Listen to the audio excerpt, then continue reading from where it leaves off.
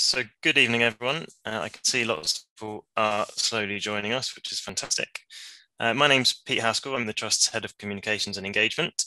And I'd like to say welcome to this evening's event, um, which is all about integrated catchment management and the work of the Tweed Forum. Uh, so thanks very much for joining. We're expecting around about 280 to 300 people. Um, so we'll wait a little while just to let the numbers clock up a little bit more. Um, special thanks to the Central Borders local group for organising this talk. Um, and I'll be handing over to Alison Smith shortly, who's the chair of that local group. Um, just as a reminder, we are going to be recording tonight's event and the recording will be going up on our website. Um, we've got a, a growing collection of our online talks on the website. And this evening we'll be using the, the Q&A and the chat functions. Um, so any questions you have, please put them in the Q&A. Um, and the, the chat can be used for anything that's not a question, um, but please don't put any web links into the chat or the Q&A. Okay, so I can see that numbers are still slowly going up. We're at about 150. So we'll just give another few seconds and I'll pass over.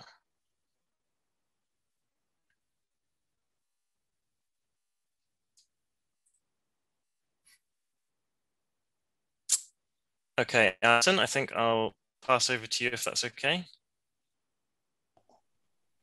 Yeah, that's fine, Pete. Thank you. No problem. Okay. Right, well, uh, very warm welcome to everyone tonight from the Central Borders Group. Um, we're located in the south of Scotland between the Berwickshire Group and the Dumfries and Galloway Group, uh, with a variety of habitats over our patch, including the River Tweed and some of its tributaries, which is in fact the subject of tonight's presentation. Within the Central Borders Group, we have and have had over many years, in fact, since the 1960s, uh, a mix of backgrounds, knowledge levels, uh, skill sets, interests, and indeed specialisms.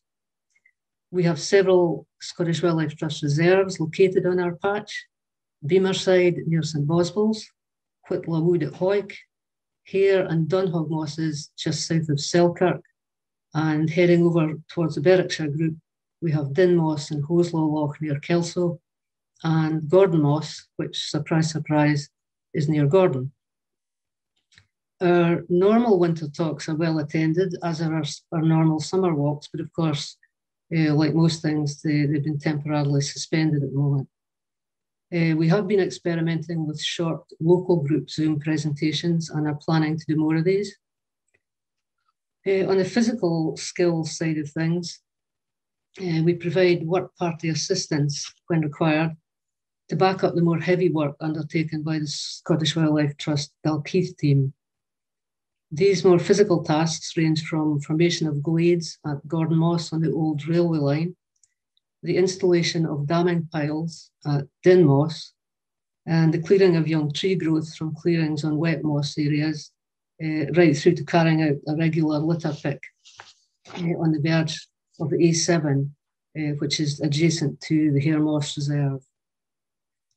Uh, on the educa educational front, our members undertake presentations to local groups and we attend events when, when requested. We would certainly like to do more work with children than we currently do, and we're certainly a bit short on watch groups in our area at the moment. Publications wise, uh, a hardworking team in our group updated the Eildon Hills booklet in 2016, which I think I can show you in front of me there. Uh, and that it was first published in 1976 with various uh, subsequent updates. And this was selling well in the local bookshops, uh, which is good for our funds, uh, prior, of course, to the lockdowns. Central Borders Group has a Facebook page that we feel allows us to reach out to members and indeed non-members who are interested in the wildlife on our patch, as well as highlighting the bigger national issues. It certainly was very good uh, during the lockdown to be able to communicate what people were seeing. Other skills of a more administrative nature within the group are deployed in reviewing planning applications uh, and representing the Scottish Wildlife Trust and Central Borders Group on local steering groups and forums, uh, such as the Environmental Alliance and the New South Scotland Enterprise, uh, local biodiversity site steering group, site steering group, and indeed the Tweed Forum.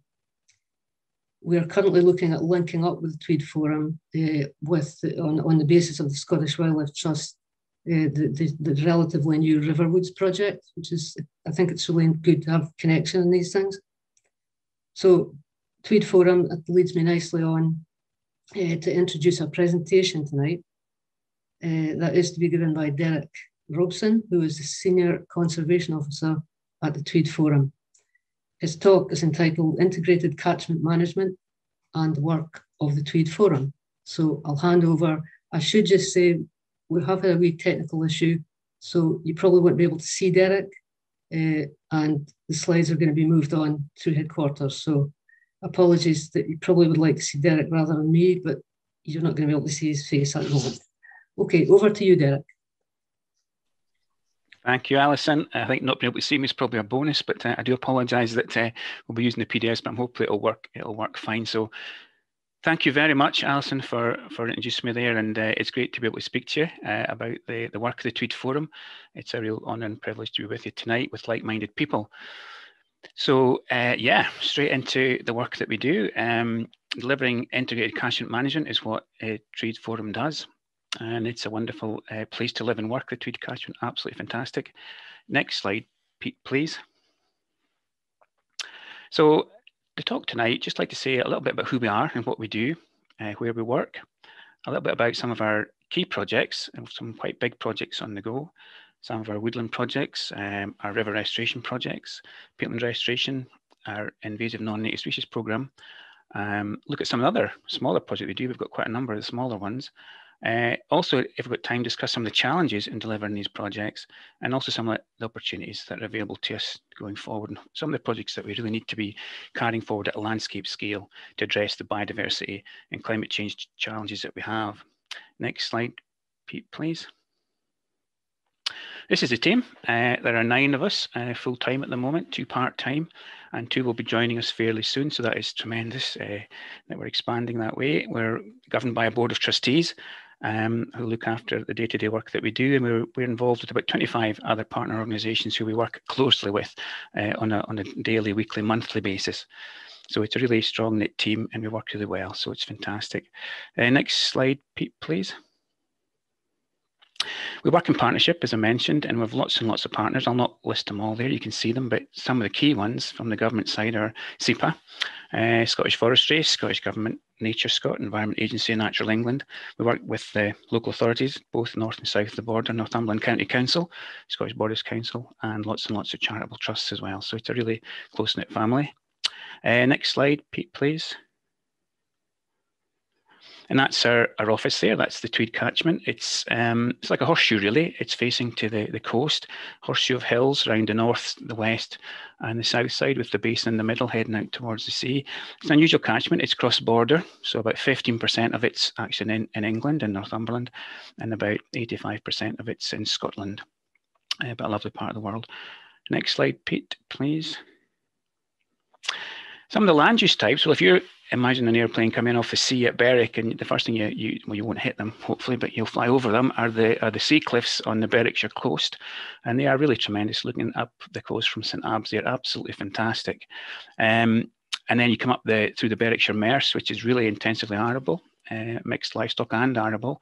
Come up in the middle of the catchment, you get a lot of um, pasture land, sheep, cattle, uh, arable as well. And right up to the top of the catchment, it's mostly pasture uh, with some coniferous shelter belts.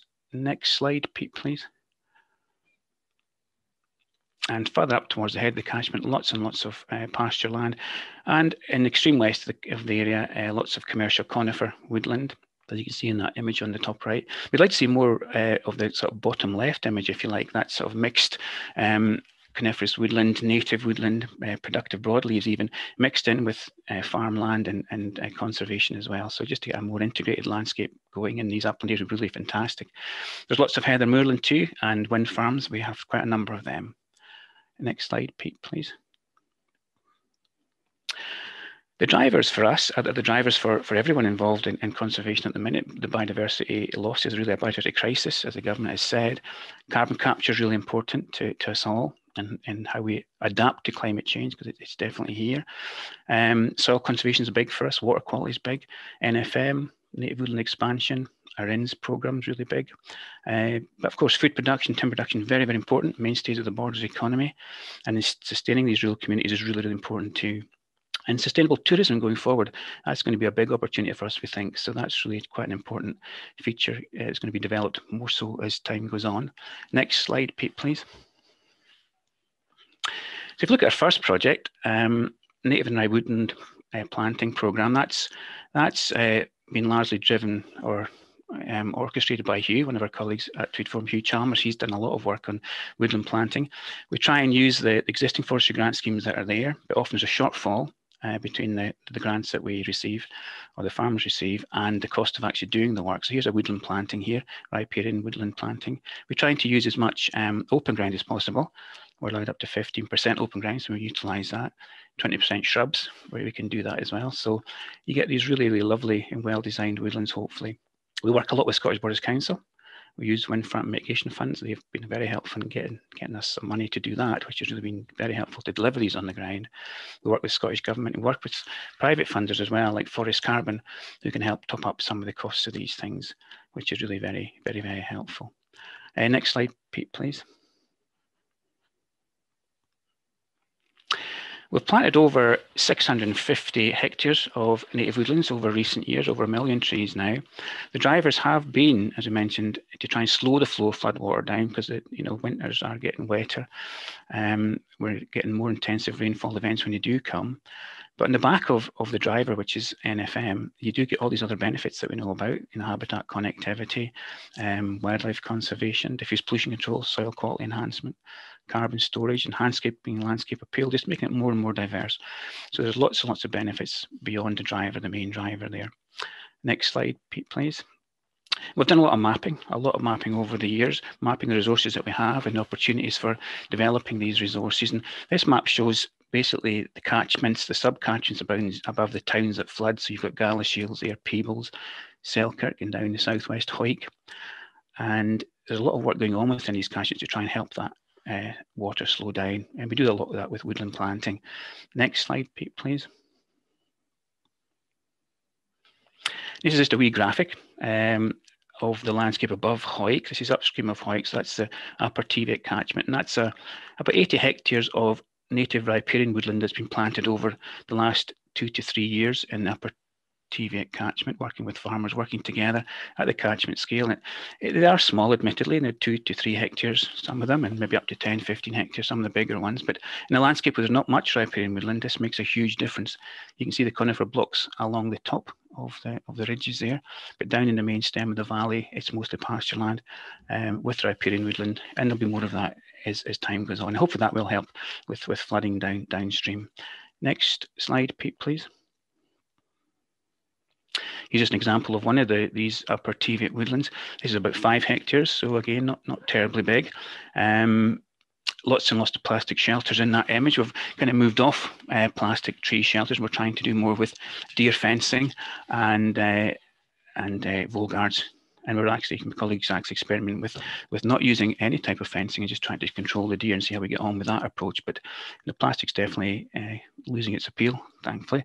But uh, more and more deer fencing will be used. Uh, next slide, Pete, please.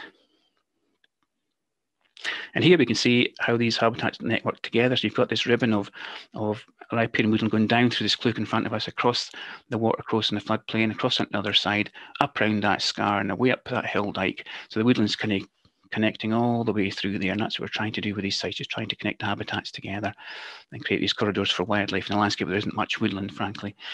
And next slide, Pete, please. Here's an image from uh, 2012 on the left and another image from 2020. This is Nagala water above Stow, uh, this is the Crookston farm. So obviously the one on the left shows it just after planting, one on the right shows it eight years later. So yeah, it's slow to come, it's coming, it's definitely there. Uh, there's maybe maybe more gaps than we'd like, but it's, the trees are definitely coming and that'll just you know, develop as time goes on as a nice native woodland. Next slide, Pete, please. And it's another one. This is my colleague Hugh's done. Another one uh, down in 2012 on the left in 2020. On the right, that's looking really good. Um, a good mix, probably about, there'll be at least 10 native species of trees in there, uh, at least. So a good diverse mix to deal with climate change as we go forward. Next slide, please. And some of the challenges of this one, well, I mean, they're quite, quite, um, you know, not not huge, but project facilitation is definitely key. We've got to keep these projects um, facilitated and keep people working with the farmers in these catchments. That's absolutely fundamental. Finding a shortfall is really important. Shortfall between the grants and the and actual cost of doing the work.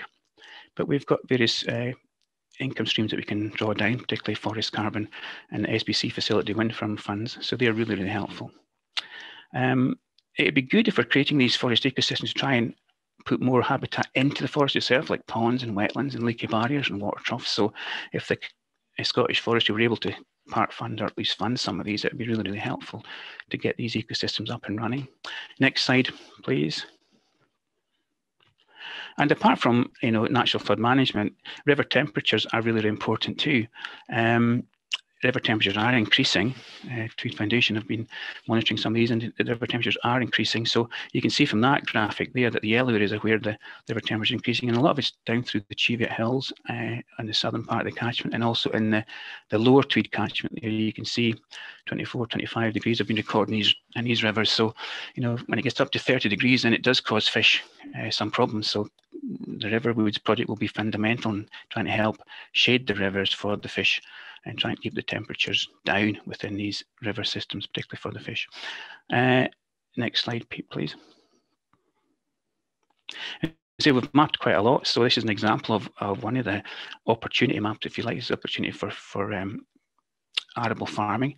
These are all the fields. So you can see right away where our arable fields are in the catchment. The darker the fields, the, the better the crop, if you like. So that could be the winter wheat in, in the dark brown here. So we've done that for most of the things like biodiversity, forests, um, arable landscapes. Next slide, Pete, please. And we've done opportunity mapping for natural flood management. This is really quite a good one, where we do use this map a lot. Um, the green areas, for example, just an overview of the borders, it shows you where you could plant trees to try and slow the flow water down in these green areas. The brown areas where you could block hill drains and peat bogs to try and make the peat bogs wetter and, and retain some of the water there and store some of the carbon.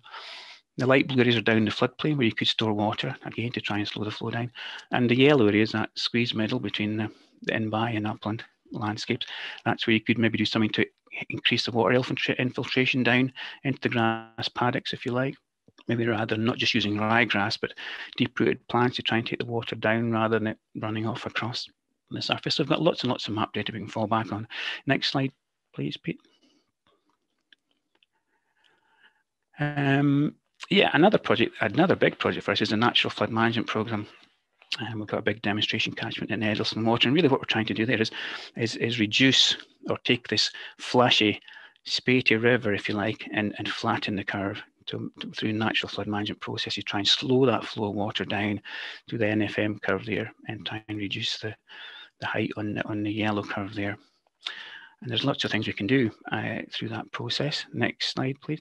Yeah, this is the Eddleston Water Catchment. This is a, a big demonstration catchment for us. This is a project in partnership with Scottish Government, SEPA, uh, Interreg Dundee University, uh, particularly led to uh, Chris Spray, who's uh, one of our trustees, and Hugh as well. So there's lots and lots happened in this particular catchment over recent years. We've planted over 207 hectares of woodland, lots and lots of stock fencing, deer fencing gone in. Uh, they've restored nearly three kilometres of, of river from a canalised state to a remeandered state, and they've put in 116 water flow restrictors. These like little beaver dams, if you like, but uh, with lots of uh, flow underneath, but they do kick in at flood levels to push the water onto the floodplain. So absolutely tremendous.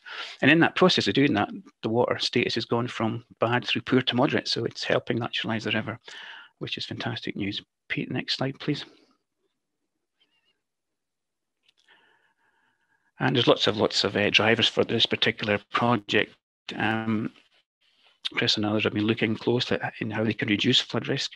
Uh, how they can improve the habitats on these rivers, what techniques work best to slow the flow down, uh, what other uh, benefits are, are, delivered alongside NFM, what are the costs, you know, how do farmers react to this kind of thing, and are they, are they enthusiastic, are they otherwise? Next slide, please. and lots and lots of monitoring, lots of monitoring going on in this particular valley. They're monitoring rainfall, uh, water flow levels, water flow rates, groundwater, uh, the morphology of the river, the ecology of the river, and its um, acceptability to the farmers. That's really important that these work in tandem with the farming business. They absolutely have to work as part of the farming business. That's really fundamental to keep the farmers on board and get them to, to move forward with this approach. Next slide, please. Here's an example of uh, an aerial image of that particular catchment that just near that's Cringletie Hotel on the left, and that knows it, the road that runs up from Peebles to Edinburgh on in the centre of the picture there, and you've got the canalised water course going up the old railway line. So that's what it was like before they started restoring the river. Next slide, please and that's it just uh, not long after restoration. You can see the road going up on the right hand side there, the railway going up through the, the old railway up to the centre. The Canalised River used to go up past that railway line alongside it, but they've pushed it right over onto the, as far as they can go across the floodplain and put the remeanders back. So that just reconnects river with its floodplain. That's tremendous. And that looks going to look really good as time goes on. Next slide, please. And it was quite a task. Um, but the contractors were absolutely fantastic. These that they're doing here is putting root wads in on the bend of the of the channelized course. These are just Sitka spruce trees cut into about 15 foot lengths with the roots exposed to the riverbank, and then turf put on top. And that pushes the river across into its channel and right across the floodplain. But they're quite skilled, these contractors. They really know what they're doing. It's fundamentally important to get contractors that do know what they're doing, but these are actually top class, these people. So it's absolutely tremendous. Uh, next slide, please.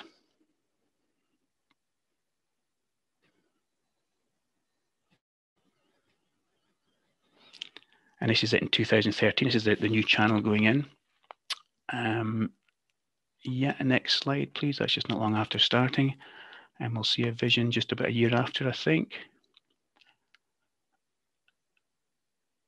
Yeah, not long after 2014. You start to see these and glides and pools nature is starting to kick in really, really quickly, and nature starts to recover and come back. So it's it's all good news. these have been heavily monitored through time, so it's all working really well. Next slide, Pete, please.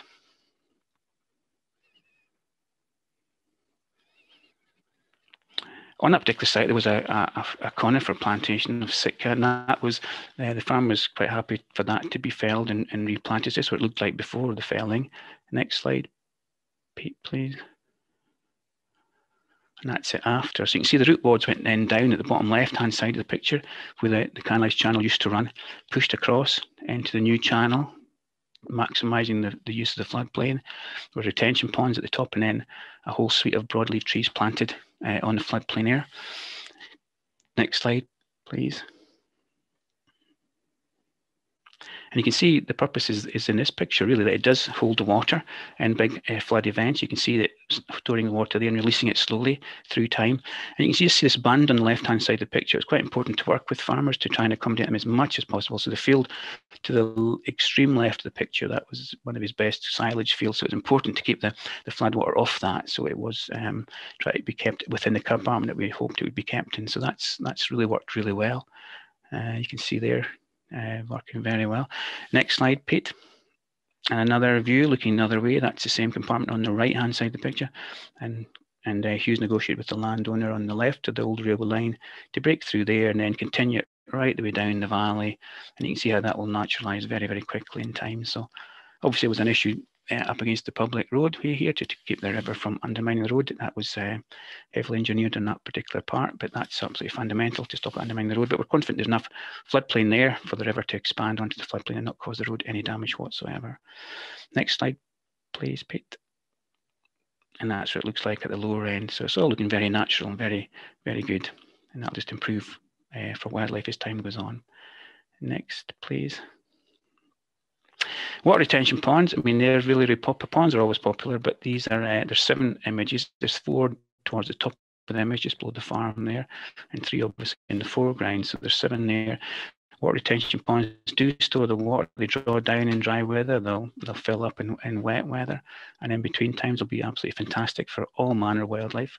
So it's great to get more and more wetlands into the borders landscape.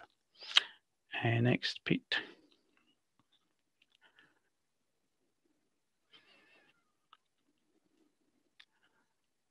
Yeah, oh, there we go. And leaky barriers, well, yeah, now these are very, very, they're, they're not high high spec, as you can see. They're just basically tops of Sitka spruce, uh, felled, uh, dropped over the river, pegged in with, with um, posts uh, and some freeboard underneath. And when the river comes up, the picture on the right shows what happens there. The river just pushes, get, gets pushed across onto the floodplain. And these are really, really effective at slowing the, the floodwater down. Absolutely tremendous at slowing the floodwater down. It's been proven that these will uh, you know, slow the, the, flood down really considerably more than you'd possibly imagine. Uh, it's quite impressive how much they will actually take the peak flow off. Next slide, Pete, please. This is a recent one that Hugh's been working on. Um, anybody that knows it, this is Little Yarrow, just at the very top of the picture. You just see the Loch of the Lowes there, just beginning to break the top of the slide there. That's St Mary's Loch, and you can see the, the, the canalised channel going down through the centre and the remeander channel uh, cutting through the floodplain fields and then cutting back across. So that's what it looks like. Uh, or as a model, if you like. And on the ground, I think the next slide will show us what's happened this winter. Uh, next slide, Pete, please yeah, there's a canalised section on the right, and there's a remeandered section on the left. And now all that area in the foreground, in the mid foreground, will be planted with um, floodplain woodland, native broadleaf woodland. And here's St Mary's Loch, Loch of the Lowes in the distance there, you can see. So that's all renaturalising that landscape and it'll be taken back for wildlife. So, you know, working with the landowners there, that's going to be a really flagship project for us, we think. Next slide, please. The challenges for this are, are much the same as they are for, for woodlands, really. It's just getting the project facilitation in place, uh, finding the shortfall funding or the funding to do this, because it can be relatively expensive uh, to do. And it's, it's overcoming, you know, working with landowners and farmers, taking them with you, um, and uh, encouraging them to do this and, and, and, and looking how they develop over time and their attitude changes to this over time. But it's no doubt enough to be doing more of this with climate change and biodiversity loss. This is creeping up the agenda as well. So there'll be more and more of this happening probably in, in due course. But again, have to sit with the, the business model. They have to sit within a farm business model. One of the challenges for us is we think we have to develop more markets for these nature-based services and we have to attract more private money because there's just not enough public money in the system to do all the kind of work that needs to be done. So we need to make it interesting for private business to invest in this kind of work. Uh, next, Pete, please. Our peatland program, it's um, it's led by Rachel, Rachel Coyle, largely, and this is another map that we use. I used a lot of maps, but this is the one that shows the um, the not so much the peatland resource, but more the heather resource. The purple area is, where the heather appears uh, in the borders from the aerial photography that's all been mapped. And one would assume that, that some of the deepest peat will be under the heather. So, you know, we know where to go, obviously, to start doing a, a peatland restoration work. Next slide, Pete, please.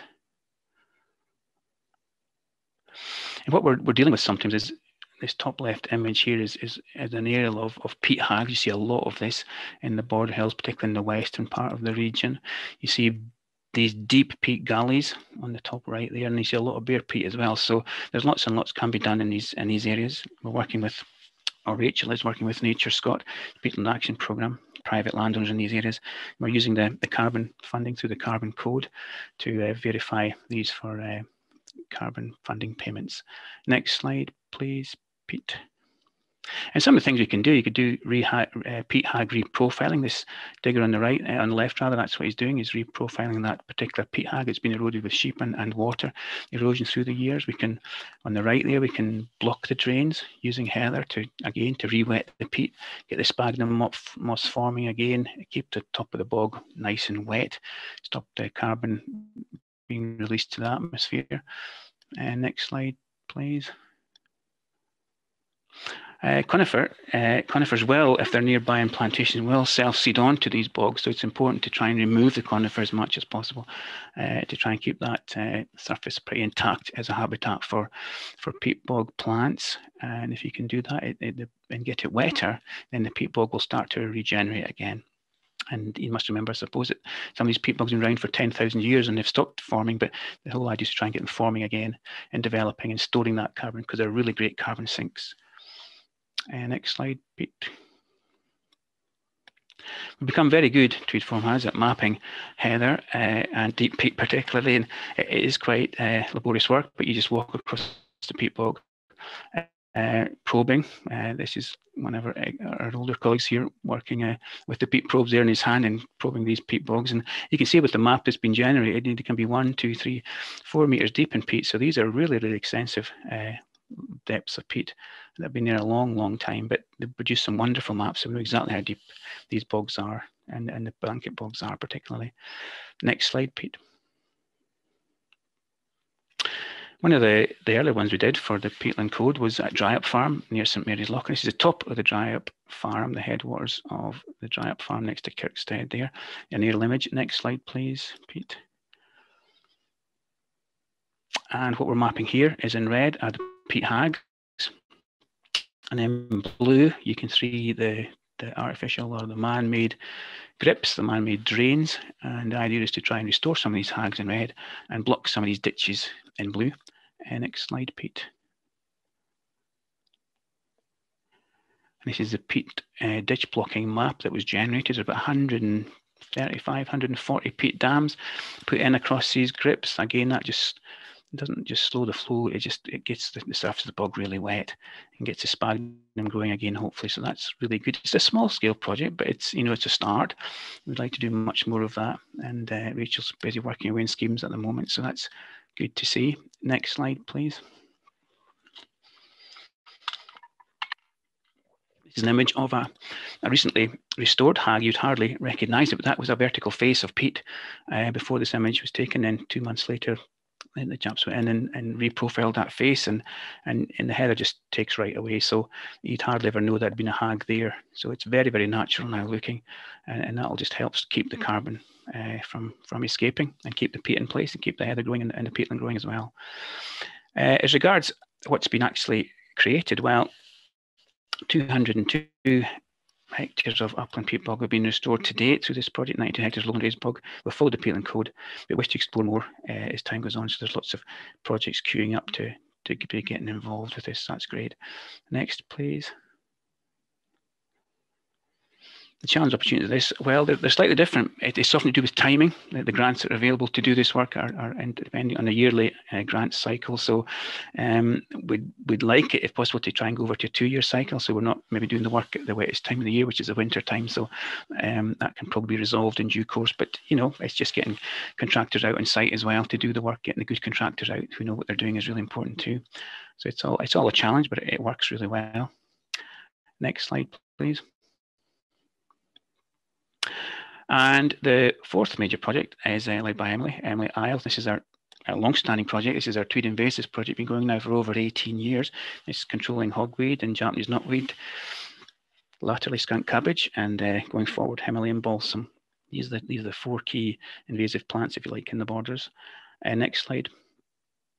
And Here's an image of uh, giant hogweed on the main stem of the Tweed, just above Norham Bridge. If anybody knows, that's Norham in the distance. Um, this is hogweed on the left bank of the Tweed there in 2007. There it is in 2020. Uh, still no sign of it coming back, so that's tremendous. There's a good monitoring program going on. Uh, next slide and American skunk cabbage. Uh, this is this is quite an interesting plant. Can grow very very tall. On the left here, you can see how it's, it's escaped from a garden upstream here, and it's gone downstream, working its way down the river system. Um, but if you get onto it quick enough, you can control it. And uh, in 2020, there's no sign of it coming back, so that's really good. So these sites are well known. We know where they are, so we can keep on top of them uh, fairly easily. Next slide, please. And the one Emily's working on most recently is uh, is with Himalayan balsams. A lot of that in the catchment, and Emily's been working with CABI to try and uh, work a way of of not killing it particularly, but just trying to knock it back through releasing a, a pathogen, uh, a rust fungus essentially that is specific to Himalayan balsam. So it, it gets released uh, last summer and they're going to monitor it on seven sites in the Tweed this year. So it's the first in Scotland to be done. It's been done in England, uh, it's the first one in Scotland. So she'll be monitoring that very closely to see how the the uh, Himalayan balsam reacts to that pathogen. You can see the spots there, the spores in there, uh, the pathogen there, try to weaken that plant. To let other plants come through between the dense stands of, of Himalayan balsam. So hopefully that'll be a success. Uh, next, please. Yeah, it's long term, this project, 18 years. Securing annual funding is always a challenge. requires a dedicated project officer uh, like Emily, requires paid contractors like Mike and others who come along every summer and help out. So, yeah, and it's working with the local gillies and the fishermen, the volunteers on their stretch of the river to try and deal with this and, and keep it under control. But it's really worth it. It's really doing well. Next slide, please. This is a picture from 2003 that shows the Tweed catchment as it was then. The red area is where the giant hogweed particularly was bad in 2003. It was high uh, right throughout the catchment from Berwick through Kelso up to Hawick and up to Melrose in the Tweed.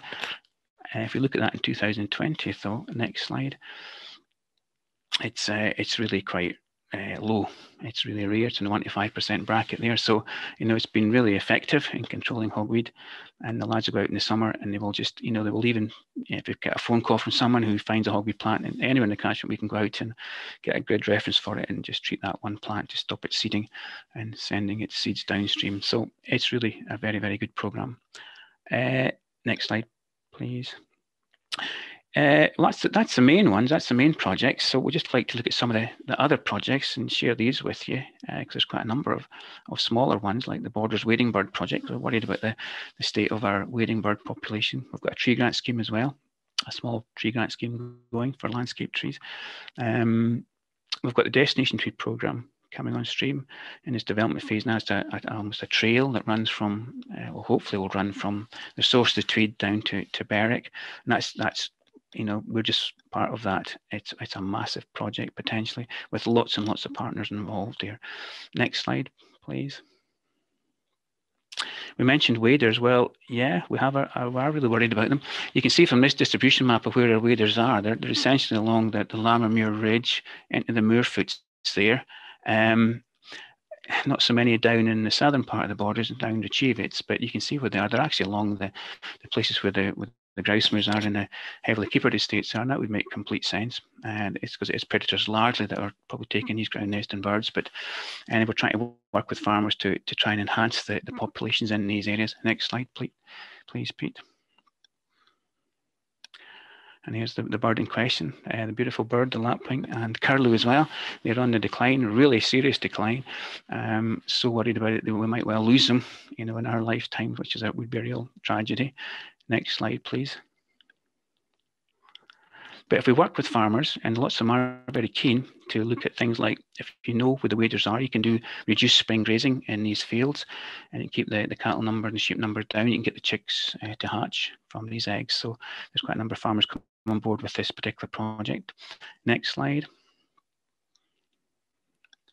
soft rush cutting too. If you can just get this mosaic of habitat right, then the birds, curlew and lapwing, will like this mosaic of tall uh, rushes and short rushes and wet grassland and dry grassland, closely cropped, slightly longer. They like this habitat mosaic, as it were. Next slide, please. and scrapes. They just love scrapes, and scrapes are so important for these little birds in the springtime when they've hatched. This is where the insects will be, and this is the chicks make for uh, then the invertebrates will be in these little wetland patches. And then they'll move out further afield as time goes on but they're, they're fundamental when the chicks are so small. That's where insect larvae will be for them. Next slide please. And ponds ponds are always as I said earlier ponds are always popular. We, we do lots and lots of ponds uh, over the years. Of in dozens and dozens. These are just I'll just run through a few examples. Unfortunately these images are taken just not long after the ponds are created so they often look a bit like building sites, but you know, if it's to go back again and photograph them in the summertime, they look so much better. But you know, they're very, very effective and really important in landscapes where there aren't so many wetlands now. Next slide, please. Yeah, just absolutely fantastic, particularly for amphibians, you know, newts and toads and frogs just absolutely love these habitats. So this is one of the sentinel borders near Selkirk, just really, really tremendous. The farmer's so keen here uh, to, to do the right things for wildlife. It's great to work with farmers like that, and there's lots of them. There's lots of them that are really keen to do the right things, so it's good to see. Uh, next slide, Pete, please. We've got a tree grant scheme we mentioned. Um, the Borders Tree Grant Scheme run with us and a few other partners uh, in, in tandem. Uh, it's really to try and look after our, our landscape trees that we're losing to ash dieback, essentially. These are oak trees here, but to try and replace ash that are dying in the countryside. Next slide, please. Uh, this is this is a, a, series of ash trees. That this picture was probably taken about two years ago in the Smailholm to Kelso Road. Really, these are mature ash trees, but I'm, I'm, quite sure that if we go back in five or ten years' time, these trees may not be there, and and they are showing signs of, of stress and strain to ash dieback. Especially these two big ones on the left. One on the right is not looking so bad, but the two on the left are looking as if they're suffering a little bit from uh, the virus. Next slide, please. And the aim behind this particular project is to put these landscape trees back, the parkland trees, the hedgerow trees, the copses, the roundels, the tree lines, orchards even. Um, it's been so successful that we're, we're going to, with our partners, try and roll it out across Dumfries and Galloway, expand it and call it the South Scotland Tree Planting Grant and work with our partners uh, in Dumfries and Galloway, Galloway Glens Landscape Partnership, Woodland Trust, um, Scottish Forestry, the Council. We've planted over 38,000 landscape trees over the last six years in the borders alone, we think it's a unique scheme in Scotland, um, so we're just hoping to repeat that success and plant maybe 10,000 year, 10,000 trees this year uh, from April the 1st across Dumfries and Galloway and borders. Next slide, please. And that'll be the area, hopefully, that we'll be able to cover now, not just the Scottish borders, but right across to Portpatrick, essentially in the west. So that's going to take quite a, a, challenge, but our colleagues in the Galloway Glens Landscape Partnership will help help deliver that and advise the farmers there who may need some help with their with their farms. That's good news. Uh, next slide, please. Uh, and these are just some examples of schemes that have happened in the past. There's some parkland trees on the left, there's some hedgerow trees on the right there, and there's a small copse uh, again bottom left. So you know, not big, less than quarter of a hectare, but you know, hugely important from a landscape perspective, especially when we might be losing ash in, in these in these landscapes. Next slide, please is image um, taken with a telephoto lens. We can see these mature trees in the middle foreground. And you can just see along these hedgerows the younger trees that have been planted through that particular scheme a number of years ago. So that's the kind of thing we're trying to create right across the landscape. And you see there's lots of potential in the distance and these hedgerows in the distance to do that similar thing is put these trees back in the landscape, particularly up the hedge lines. Because you can imagine if that big hedge line in the top distance there and if that was all ash, then you would lose that skyline of trees there. Uh, so they try and put them back, particularly things like oak and beech and sycamore. They're particularly big trees in the borders landscape, and these are wonderful trees to see. Uh, next slide, please. We've been involved in uh, with the Environment Agency last year. They came to us and asked, "What are you involved in a project to look at um, water quality and the, drinking water supply for Berwick. This is the fell sandstone outcrop, if you like, and encouraging farmers not to put so much nitrogen onto that. There's not a problem essentially, but to, before it becomes a problem, to try and get them to absorb as much of the nitrate through um, overwinter cover crops and and not applying fertilizer in the first place. So really that was that was an interesting one. Um, we tried a different approach with that, working with a an online um, auction platform essentially had a budget and see if farmers would be keen to, to apply for the funding through that simple process. And they were, it worked, it worked surprisingly well, really. So there's lots and lots of uh, overwinter cover crop went in and was lapping up some of the nitrates there, hopefully. Uh, next slide, please. Yeah, that's an example just on the left of what the cover crop looked like and that's just a fertilizer spread on the right. But you know, it's that simple things like that. But they do, they are really, really effective, particularly winter over winter cover crops are very, very good at lapping up excess nutrients in the soil. And we'd like to see more of that being planted on our arable fields. We do a lot of agri-environment schemes, uh, clearly as well. Um, they're in a bit of a hiatus at the minute. There is a scheme this year, but hopefully in due course, in the next two, or three years, will be a no whole farm uh, conservation scheme, if you like, not just for exercise, but for the whole farm.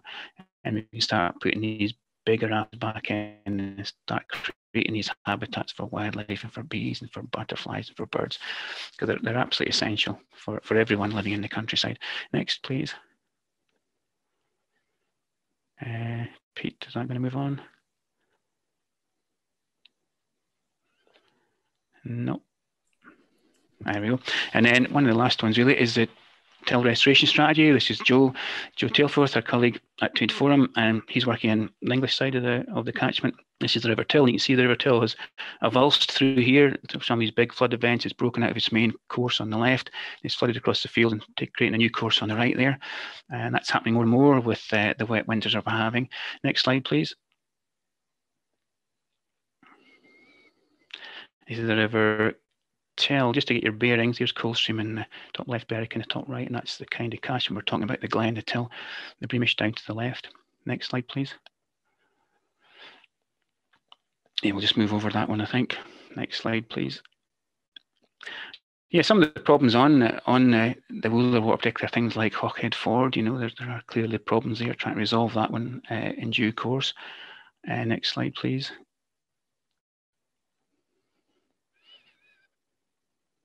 Yeah, I think that one speaks for itself, really. Uh, next slide, please. And avulsion, we see a lot of avulsion in that particular valley. So the River uh, Glen here, you can see these red arrows show where the river is breaking out every time there's a flood. So um, that's a natural process, clearly. But I know there's properties that are that are in danger of flooding. There's good farmlands in danger of flooding. So it's trying to work with nature, trying to work with people in the valley to do the right thing for that particular valley. Next slide, please. Is the, uh, an aerial image of the avulsion uh, back in 2008. You can see just how much gravel uh, that was brought down through that uh, River Glen and was deposited in the field and it ripped out the hedge through the middle there. So it was quite a traumatic event for the for the farmer involved there, I'm sure. So it's just trying to work with nature to say to try and resolve these these issues and try and make it right for the environment, for the people, and for for food production. Uh, next slide, please. That was an image of the, the valley before it flooded back in 2008. Just keep an eye on this uh, conifer block in the center foreground here. Next slide, please. That's the same uh, view uh, 10 years later. So the river is encouraged to do more of a natural thing down through there, but uh, you can't always do that in, in situations. But uh, try to work with nature is, is really important. Uh, next slide, please.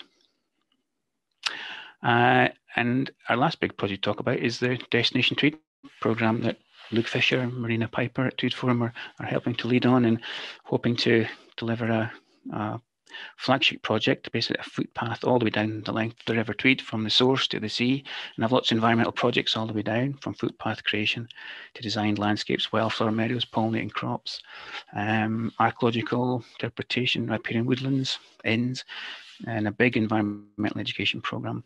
So it's really quite exciting. There's lots and lots could happen with that program. Uh, absolutely fantastic. Next slide, please. Yeah, we think the environmental education program will be a big, big part of that. But it's it's a big partnership uh, program. There'll be five local authorities involved. It'll be orchestrated through the National Lottery Heritage Funds, Trust Trans uh, is heavily involved, South of Scotland Enterprise, Tweed Forum and our partners, and various trusts and foundations. So, uh, really excited about this one, really excited, and it seems to be going very, very well at the moment. Next slide, please. And I think the last two or three slides are really about the bigger picture and where we might be going. You know, we feel that in the borders, one of the biggest challenges is, you know, in our uplands, if the uplands are going to deliver more for biodiversity and climate change, how are we going to do that? It's this um, you know, traditional hill sheep farms look a bit like this on the left, and commercial forestry looks a bit like that on the right. And you know, can these be merged together a bit better with all the other services that these landscapes can provide? It's going to be so important to try and resolve these issues and challenges there. Next slide, please. Yeah, to get the basically get the linkages to to to connect these landscapes together, the upstream, the downstream, because there's a disconnect at the minute, definitely, between the communities living in the downstream, communities living in the upstream. And if, if a lot of these services are being provided in these upstream areas, then, you know, maybe people in the downstream areas need to pay more to the people in the upstream areas. Maybe they need to be a, a, a more of a connection there because a lot of these services can be provided to the benefit of people and wildlife and farmers in the uplands. So it's delivering the right landscape in the right place at the right scale. We feel that's really important. And the last slide really is this one. Um, it's really just to to leave you with a set of questions because these are questions that we have to try and resolve and deal with on a day-to-day basis. If we are to deal with biodiversity loss and climate change, you know, question one would be what do landowners and rural communities want that plans to look like and be used for? Where and how do we target public finances to help achieve the desired objectives? How do we attract more private investment? And how do we encourage greater farmer cooperation? And it could be a role for the upcoming regional land use partnerships here. We would like to think so, but um, I'll leave that one with you because we don't have the answers, frankly. So, um, yeah, be interested to hear what anybody has to say on that. Uh, but I think that's me for the moment. So thank you very much and your patience. Thank you.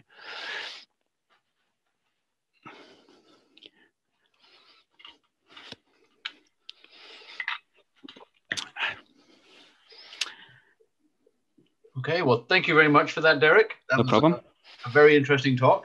Uh, good evening, everybody. I'm Mike Rutherford. I'm the another committee member from Central Borders Group, and I'm going to be uh, in charge of trying to consolidate some of the questions for Derek. We've got 28 so far. Um, some of them have been grouped into certain themes, so I'm going to try and uh, ask them the questions uh, based on some of the themes so we're not repeating ourselves all the way through. So, most popular questions, uh, top two, basically asking about beavers. Um, have you got any plans to reintroduce beavers? Do you know of any plans to reintroduce beavers uh, in the Borders region on the Tweed? I, I, as far as I'm aware, there, there, there aren't any plans to reintroduce beavers at the moment. Uh, as far as I'm aware, there aren't. No, it, not to say they won't come in time, but uh, at the moment, I don't think there's a, a, plan to reintroduce them. No, there isn't. Right. Okay. So sorry, folks, you have to wait a bit longer. Uh, right. Uh, next down, most popular one, looking at which trees, um, which native trees do you use for replanting uh, the native woodland, and is this based on historical pollen records? Um, and if so, how far back in time did you go uh, next year? Yeah, it's a good question. Uh, no, we don't base it on anything historic pollen records. We just base it on what we think is going to grow well there today and what we know was probably there in the past uh, uh-huh. through through other historic records. But we we tend to, as I mentioned earlier, we tend to plant at least ten species. So, you know, we have the open ground areas. We have our shrubs. Our shrubs might be twenty percent. They'd be things like uh, hawthorn, blackthorn, hazel, juniper, maybe some holly. Um, our taller broadleaves might be things like oak, no longer ash, sadly, because ash has got a, an issue with disease. So uh, we plant more oak in that case. Um, birch, rowan, uh, gean, uh, that kind of thing. So yeah, lots and lots of, of diversity. Aspen, aspen, alder, willow, particularly in the wetter areas, we love aspen, and more the more aspen we plant, the more the further west we go. So we just you just can't get aspen very easily, but it's a lovely tree to plant, and it, it you know it does uh, self-seed really quite well, and uh, it's a really, it's a lovely tree, beautiful trees. Let's see more aspen in the borders, yeah, but a, a, really good mix, a really good mix, and try to make them as diverse as possible. And need to be diverse to deal with the climate that's that's changing. You know, the more diverse these mixes are, yeah, absolutely. Um, someone did ask whether or not you're planting the aspen, particularly for beavers, but uh, and well, maybe in time, maybe in time, but at the moment, not specifically for beavers. No, okay. just for just for just for wildlife generally. Yeah. Right. The next ones we've got. Uh, have you been finding any skill shortages? You did mention that um, there's a, a, limited number of people who do the peatland work, but yeah, there's a barrier to getting. I think. Done. I think um, you know good contractors are you know are always in high demand, so uh, we're always uh, at pains to try and get the contracts out as quick as we can to the to the contractors because you know the you know the, the, the good contractors are, are always busy. But yeah, hmm. there's the, yeah, we're not you know, we don't we don't struggle to, to find the contractors very often, but you know, it, it's often up against a time scale which we need to do uh, against a, a, clock, which is a challenge for us. But we can usually manage to find the contractors, uh, whether it's tree planters or fencers or uh, guys working the diggers. We can usually find them. So there's there's very very skilled people out there, very good people out there. So at the moment we're we're, we're managing uh, yep. as others are. So yeah, yeah, and and even for training for for youngsters coming into the industry and, and learning about conservation, we just feel that there's going to be more and more work for them, hopefully, as the environment steps up the agenda. So, yeah, I think uh, I think that would be really good. Uh, I'll just put my video on. If yeah, good stuff. Um, yeah, and next ones, we've got a couple of people asking about sort of indicators used to measure the success, or how do you evaluate the impact of, of what you've done, in particular, say planting the woodland? How do you know? It yeah, it's it's the flooding. it's it's it's a difficult one that because we're not we're not doing so much monitoring on our on our on our woodland planting. At the Eddleston Water, there's a lot of monitoring going on through Chris and his and his team. So there's lots and lots of monitoring going on in that particular catchment, and others uh, less so. Um, but you know, if, if you plant trees, things will happen. We're sure of that. So, and and we think time is is not on our side, frankly, for a lot of these things. So we feel you do need to just bash on and, and do things like plant trees and create ponds and wetlands. So, yeah, we, we, we monitor where we can, uh, but it, it's quite costly to do that. But we do feel that in the next scheme that comes along, there should be certainly a monitoring program, even if just photographic monitoring, something quick and, and relatively cheap to do. Um, but we do feel much.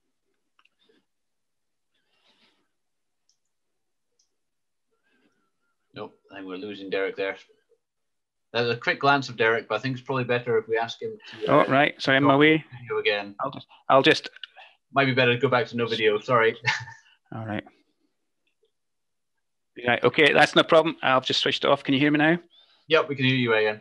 Uh, so just carrying on with the the, the enhancement. Excellent. Uh, I'll just and the, the trees. Uh, we had questions of what's the rate of loss of new trees? Do you have any um, statistics or sort of numbers of out of how many trees you plant, how many you think? Yeah, I think I, I, think we can we, we usually work on the basis of you know in a normal year um, last year was abnormal due to the dry spring but you know 10 15 20 percent is not is not unusual to right. lose due to whatever um, so we just go in and beat them up in the second and third years. So that's a standard loss rate. Some were slightly higher last year because of the droughty spring.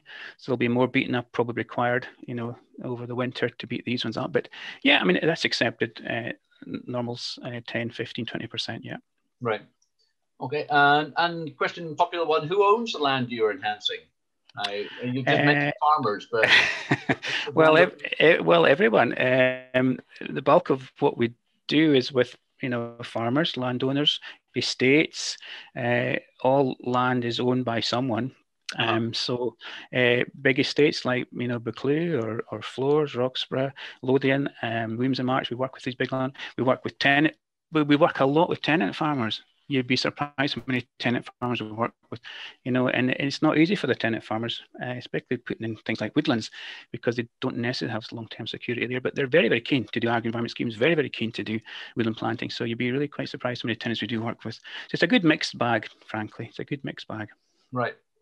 Okay, and just carrying on with the, the riparian strip for the moment. I on view um, in Africa, no farm. Sorry, Mike, I'm losing you there. Can be done next to rivers. I, I, missed that question completely, Mike. Sorry, I keep losing my broadband. Sorry. So just, just repeat that? Sorry.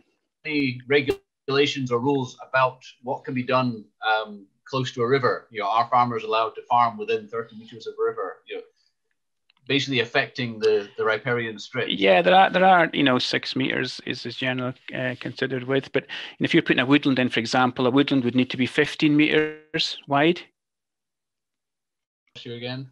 Uh, if you're putting in a woodland, for example, the woodland yep. would need to be 15 meters wide uh, through the, the Scottish Forestry criteria. So you need to have a buffer at least 15 meters to put your woodland in. I think you go slightly closer with with arable fields, but they're, they're buffered, they're protected. You've got to come in, you find the top of the bank, come in two, three meters on top of the bank and start plowing. So these rules have, in, have improved a lot over recent years. So there are very, very strict guidelines about working within close proximity to watercourses, both from a ploughing perspective and from a, a planting perspective. Right, excellent. Okay, uh, and just one more, just carrying on with that. How do you decide where the re-meandered section of river will go? Yeah, I, th- I think it's the low hanging fruit, uh, Mike. It's it's it's it's finding landowners that are that are keen, you know, and picking sites that are maybe not so valuable to begin right. with. So land that is maybe of a lesser value, but the landowners and farmers are really keen to do something uh, for the environment. So it's it's a low hanging fruit always. You know, we, we appreciate you could never do it on the on the most valuable land in the most highly productive floodplains. That would never happen. But yeah. you know, in the hill landscapes, there is there is suitable sites definitely. Okay, um, so just moving on from the rivers for a moment. Uh, where there is open bog, would you, would you prefer to keep these as they are, or would you promote bog woodland? There's been a couple of questions. Yeah, that's an that's an interesting one. The consensus to, is, is to try and keep them as as as, as open bog. Um, if they're wet, try and get them wetter. If they're dry, try and get them wetter. Um, trying to move Sitka spruce if it's regenerating onto the bog. Um, but bogs that have you know natural lags around the edge of native woodland, that's you know that's that's good. That's a good thing.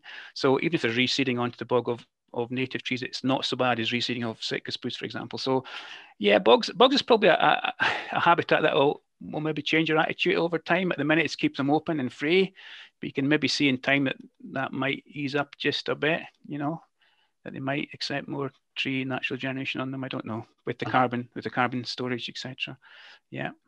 Okay, just carrying on with the uh, upland um, bogs and muirs. Is anything being done to stop about stopping damaging muir burn in the uplands? Are you involved in that in any way? Well, not not so much. it, it is still an option within um, SRDP schemes. You can still apply for burning, and and you would think in this day and age maybe maybe that is time limited now. You just you know you just wonder whether flailing or swiping would be would be better for the environment than, than burning heather, frankly. So you can see that maybe being reduced in, in time uh, in a more natural process taken. But you know, if you want, heather moorland is on a natural landscape. At, at the end of it, the end of the day, it's a it's a man-made landscape very often. And so you've got to decide, society or the landowners have to decide what it is that they want from that landscape. And that's all part of the thing we're discussing tonight. What do you want these landscapes to look like? What services do you want them to provide? You know, what, you know, that's all really important. If you want Heather Moorland, you have to be upfront and say, we want Heather Moorland for, for Heather's sake. If we don't want Heather Moorland, then we, we don't want Heather Moorland. But I think we have to be honest about why we want it and, and where it where it is. Uh-huh. You know? mm-hmm. Okay, and just carrying on with the moorland, was the one. Um, when working on peatland, moorland, do you change the grazing strategy when trying to manage the hags? Have you, you, know, you advise on that? Yeah, we, we do. We do advise on that, Mike. I think um, if looking at Dryhope at that particular site of Dryhope that we gave an example of, the uh, the sheep had been off that top heft for probably the best part of 15, 16 years. So there weren't any sheep on it. And when the sheep were coming back on, you know, they were coming back on a much, much lower density than they ever had been. So they're, they're lightly grazed. They're not, they're not heavily grazed at all, these sites. Um, and clearly, if you're making them wetter, you probably wouldn't want them to be heavily grazed. You'd want them to be more lightly grazed and certainly not burned. Yeah. Right. Okay, uh, right. Let's moving on to the sort of invasive species. We've got a few mm-hmm. questions related to that. Um, one, a couple of ones about actual plants. What do you treat the hogweed, hogweed with, please? Uh, roundup. Roundup, just Roundup. Okay. Roundup. Yeah. And there's another one asking again about the uh, what was technique was successful to eradicate American skunk cabbage. And now you'd have to speak to my colleague. I think that would be Emily that would be dealing with that. And I, I could be wrong. I think that no, I could be wrong. It could be Roundup, but I'm not sure. Uh, right. how she treated the, I think it'd just be stem injection, but I'm not sure. It's usually Roundup that we use, to be honest, on all these plants, uh, glyphosate. okay, chemical treatments, basically. Yeah, chem- yeah, chemical. Yeah, physical treatment is just, it's just too much, you know, yeah. to do. It, it, has to be chemical at the moment, and glyphosate is the one that, that deals with it. And it's pretty benign near water, to be honest. So it's not a, we don't feel it's a major problem, and it's it's the only one at our disposal, frankly. Uh, right. But that's why that's why she's brought in the um, the rust fungus to try and control yep. the Himalayan balsam to try and do it in a more biological way, in a natural way. Yeah. Uh, and just carrying on with you, you mentioned four of the main species invasives, but uh, someone's asking, could you attempt to control of few flowered garlic in the future? It has been talked about, but again, that is that is just everywhere. It just seems to be everywhere. It's just economies of scale and trying to deal with that. We, we feel that the, the priority ones are, are the bigger ones, but we, we do sympathize that, that that, garlic is a, is a problem. It is really so. But just how do you do it? it? It, just seems to be rife in our cleuchs and woodlands. Yeah. Yeah. Okay. Uh, right. So moving on from the plants to some of the, the uh, freshwater animals. Very little mention of fish in this, but the salmon is an indicator species in this ecology. So mm. you are very interested in the health of migratory fish throughout the catchment. Uh, yeah, absolutely. We work, we work very closely with the Tweed Foundation, and, and that's their remit to look after the fish really, and, and yep. we have a close relationship with them. So yeah, we, we we we do all the work that we do, all of it by and large will benefit the river. We're pretty sure of that. Will be, then by definition will benefit the fish. So, but specifically talking about the fish, you know, if we can get the the the riparian zone better managed, as it were, with overhanging trees in part, you know, shading for the fish. We talked about the river temperatures being the biggest worry. The foundation are very aware of that. The river temperatures are increasing due to global warming. So that's desperately bad for the fish. So yeah, we, we'd, we'd plan to work with them to look at putting uh, trees, uh, shading trees down these water courses as much as possible. And then keeping cattle out the river, keeping sheep out the river, lots of fencing work going on for streamside fencing. So it, it all just benefits the riparian zone that we that we like to manage and call it. Yeah. So I think you answered a few extra questions there as well. Uh, people were asking about temperature increases, climate change, so that's good. Uh, right. Um, I'm just asking about just carrying on with the animals. Any what's the situation with introduced signal crayfish? Have you come across those in your? Not not so not so many, and I mean they are there, but there's not so many that we we haven't done much with the, the, the crayfish to be honest, um, right. at all. But they are they are in part there, yeah. Okay. Uh, so the water temperatures are increasing. So you answered that. Uh, where are we at next now?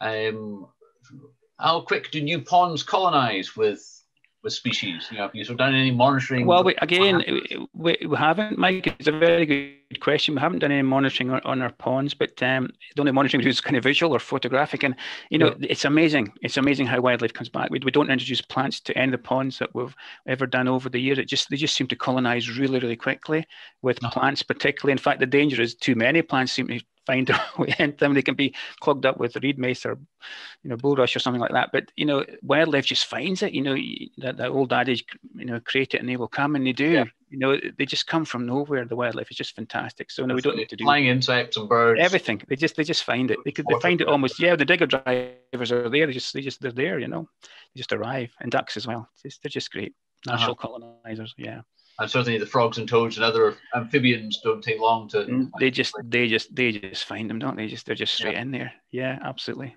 absolutely. Okay.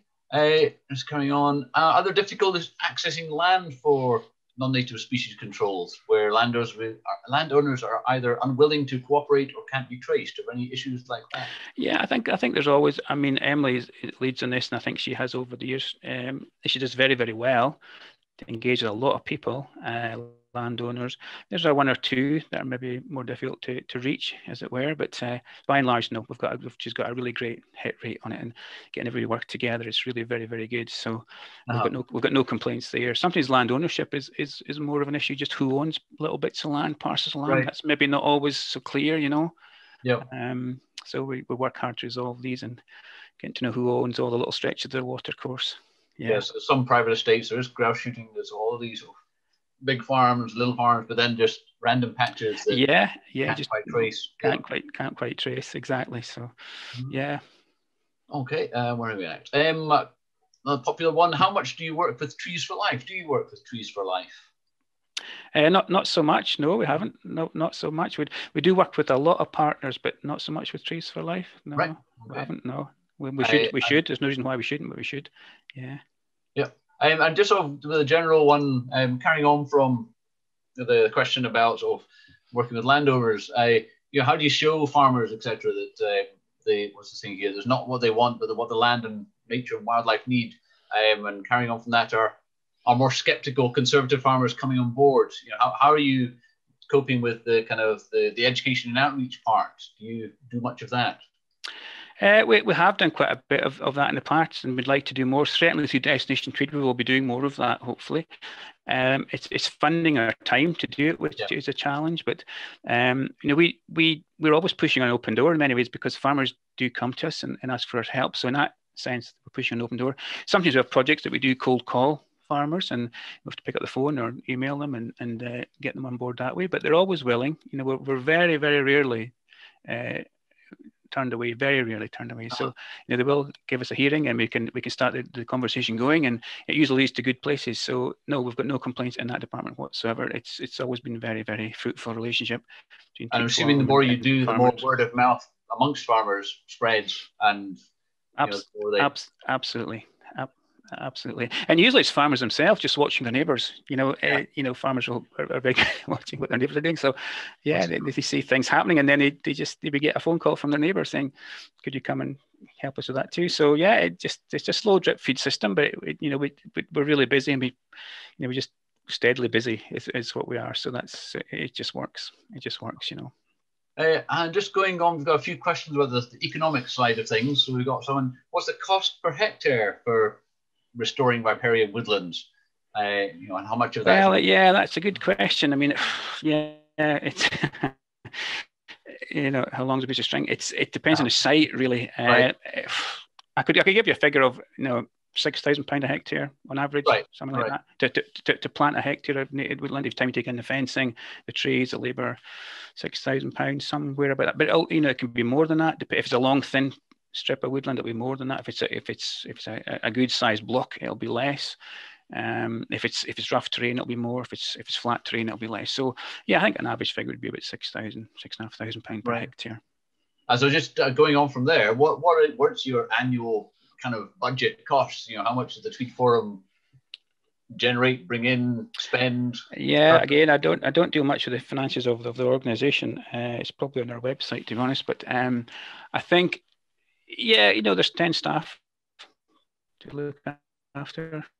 So it's it's it's a it's a it's becoming costly, but we manage. Uh, Luke, our director, does really, really well to keep us all uh, in, in, in, work, as it were. So we're, we're deeply indebted to him and, and, and, the trustees, indeed, and our partners. So I don't think, you know, financially we're, we're doing fine. Uh, we're doing all right.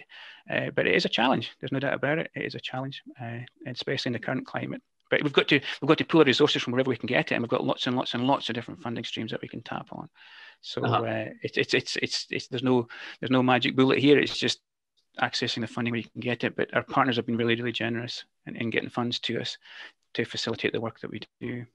Yeah. I'm sure so the more that you do and the more you show the benefits, then hopefully more funding comes on board. Or... Yeah, well, yeah, exactly. It, it tends to, it, it, can't, it, it can work. I mean, the council's been tremendous with this, you know, absolutely tremendous. So Andy Tharm at the council has been great at getting funding to us through wind farm mitigation funds. It's been a mainstay.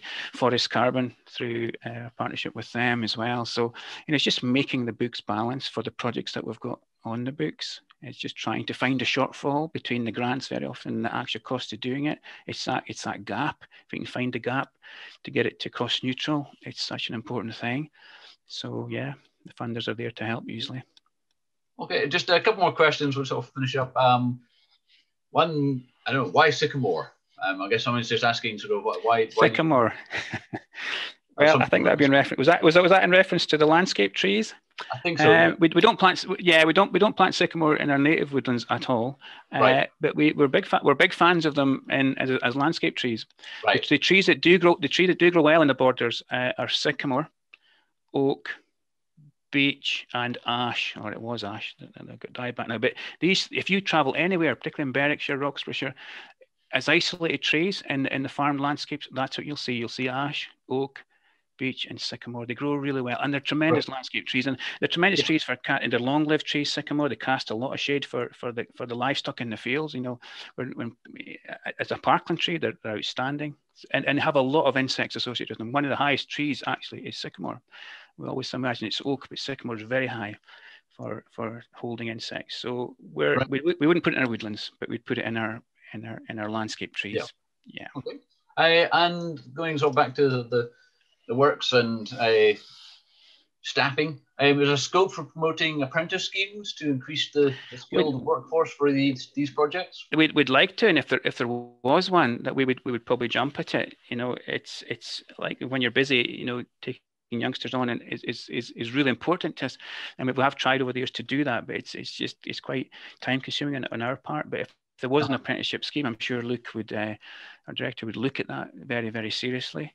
Uh, and, and welcome it with open arms. And we would be delighted to take youngsters on and, and, and try and train them up. We'd, we'd just love that challenge. Yeah. Deal with and it. I guess it comes down to a lot of the contractors you work with and, you know, if they'd be willing and able to sort of take on. Yeah, yeah. absolutely. There's, there's so much going for that approach. We think a young apprenticeship scheme for the environmental learning, if you like, in, in this in this uh, field would be would be really important. Yeah, there's I think a lot of talk of this possible ideas of a green new deal to take the American yeah. term, but for you know coming out of COVID and looking at ways to increase employment is, is a lot of wishful, hopeful thinking. Hopefully, yeah. Well, hopefully, I think yeah. Let's let's think it'll come to. Let's hope it comes to fruition. Yeah, it'd be yeah. really good. We really would be delighted to do that. Absolutely delighted. Okay. Yeah. Hey, and just uh, uh, people asking more questions. um, let's see. Uh, next one. Are you working with landowners to protect, improve drinking water quality, uh, where there are private water supplies? Anything to um, well, yes. Um, a lot of it is, is, is riverine, what we do, but you know there are a number of drinking water supplies in, in the borders. Uh, Scottish Water. Yeah, we have we have worked with a little with Scottish Water to try and encourage them to do more, shall we say? So, yeah, there's there's definitely scope to do more in these in these catchments, certainly with regard to tree planting and ditch blocking and things like that. So there's there's scope to do more work in drinking water catchments, certainly. Yeah. All right. Okay. Um, and just as a result of the uh, your NFM, has there been a noticeable effect on low river flows in the main river stem? Have you, been able to quantify river flows? Um, I think the answer to that is probably uh, it's early days. Yeah. Uh, in, truth, you know these these things will take time and they'll take economies of scale, and it's a start what we're doing, and others uh, that are doing it as well. But you will need a central critical mass of these things, you know, wetlands, ponds, leaky barriers, woodlands, ditch blocking, before you get a real impact. I mean, what we're doing will will benefit everything we think, you know, benefit conservation, will benefit NFM. Uh, the level to which it'll benefit NFM will depend largely on the economies of scale that, that, of these departments, of these woodlands that go in and wetlands that go in.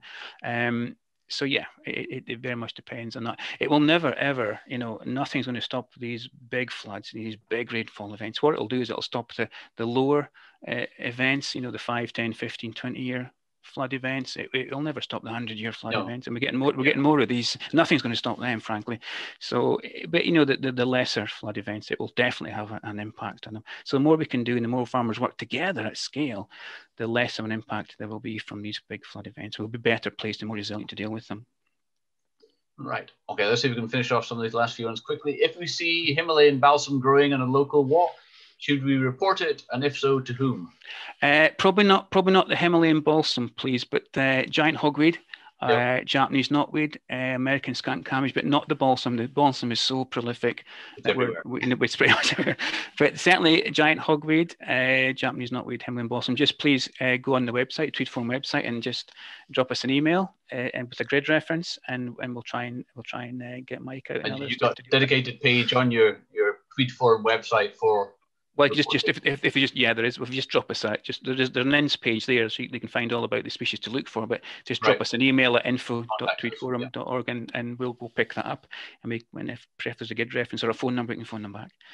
Okay. Perfect. Yeah, no uh, how much will the new agri-environment schemes contribute to this process? I'm not sure if it's a two-parter from Frank Mobby. Sorry, uh, I don't quite understand. Yeah how much do the new agri-environment schemes contribute to the process and will they give the necessary long-term funding? Uh, do you know anything about sort of the um, uh, well, we, we, we don't actually, Mike. At the minute, we're still waiting for, right. for, for the new scheme. You know, post Brexit, um, there will be a new scheme. Uh, the old schemes were, were were good, but they probably didn't really go far enough. You know, there was there was a lot of demand on them, and you know they were good, but I think going forward they will have to be more targeted at certain areas uh, of the catchment to really start right. delivering at the catchment scale. So yeah, let's bring them on, bring them on as soon as we possibly can, yep. and get get the farmers working together at scale. But start targeting, start targeting where these priorities are, are really needed. Uh, and just uh, carrying another one from Frank asking about worrying about uh, how much water is held in the dammed upland drains um, and the potential risk of bog slides. Is this uh, an issue?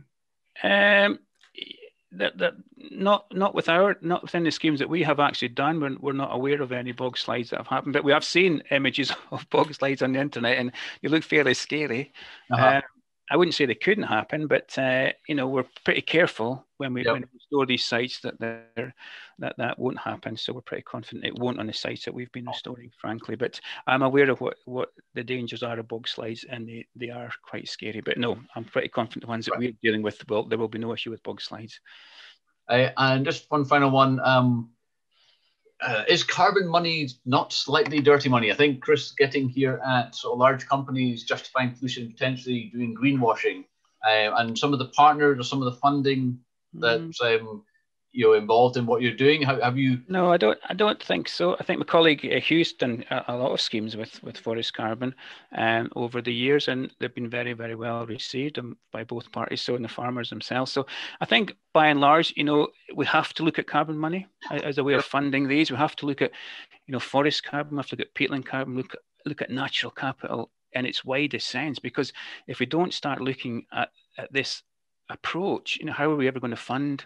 What needs to happen in the countryside and carbon is the one at the moment um, peatland carbon forest carbon. But then natural capital and how do you put how do you put a value in a wildflower meadow how do you put a value in a waterside margin? How do you put a value in a you know it's all these things but we have to somehow do that and, and yeah. create a market and create a market for it.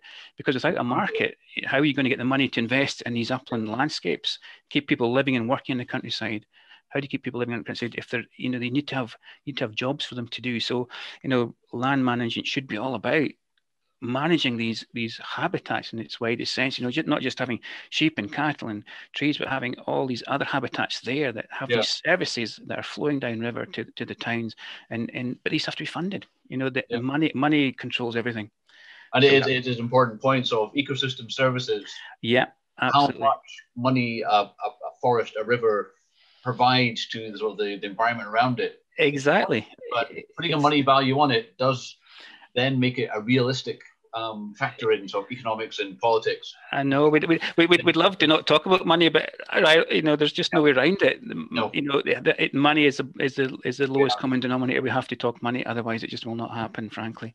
Right. Okay, well, let, let, let end on, I'll come down to the money note, end on that. But thank you so much, Derek. You did a wonderful job there of the presentation and also fielding all those questions. There's close to 30 or more questions. Um, I hope uh, everyone was satisfied with your, your wonderful answers. Um, and I just want to say as well, thanks to the uh, Scottish Wildlife Trust HQ for hosting the webinar uh, and for dealing with our, all our technical issues to begin with. I, I just say sorry as well that um, your, your bandwidth didn't allow you to be, as I say, um, for everyone to see you doing your talk. Uh, so you just have to do some more talks in live in the future. When the, when the uh, no problem. Mike, thank you. For, uh, thank you very much, Mike. Cool. Okay. Right. Uh, and I think, uh, unless anyone's got anything else to say, um, I'll just uh, say thank you all for attending. Uh, it was a good, almost 180 people viewing at the top point, which was a, a lovely turnout. Hope you enjoyed the talk. And I, you can also pass on to your friends and anyone who missed it that this will be uh, hosted on the Scottish Wildlife Trust website uh, to view later. Okay, well, Thank you all very much and good night. Thank you. Bye-bye. Bye. Bye.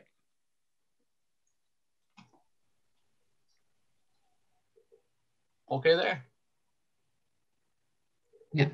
Yep. Cool. Bye, Mike. Thank you. Good.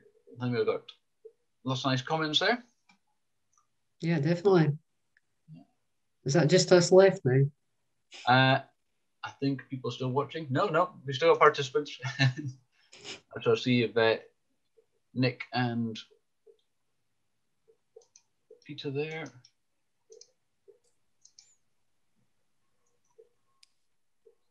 Yeah, I think I'll I'll close the meeting now, Mike oh, and yep. Alison. Thanks very much for your help, and uh, speak you. again soon.